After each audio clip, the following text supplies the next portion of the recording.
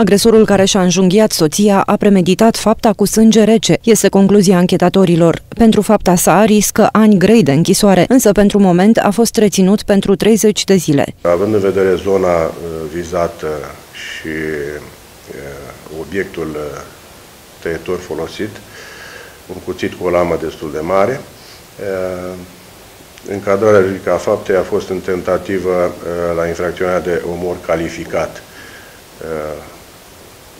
fapte prevăzute de articolul 32, raportat la artul 182 și artul 189, aliniatul 1 litera, toate raportate la uh, articolul 199, respectiv violența în familie. Uh, în consecință, limitele de pedapsă sunt între 15 și 25 de ani, la care se majorează cu o pătrime, uh, fiind vorba de, cum spuneam, de violență în familie.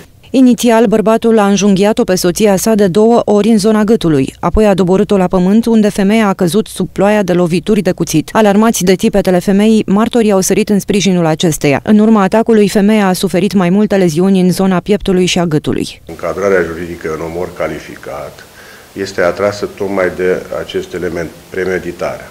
E vorba de articolul 189, aliniatul litera A. Uh, modul în care a fost concepută uh, acțiunea, uh, faptul că a pândit persoana vătămată, stând ascult după un autobuz până a apărut aceasta, denotă fără dubiu premeditarea faptei. Nefericitul eveniment s-a petrecut marți noaptea în parcarea fabricii de cablaje auto din Drobeta Turnu Severin.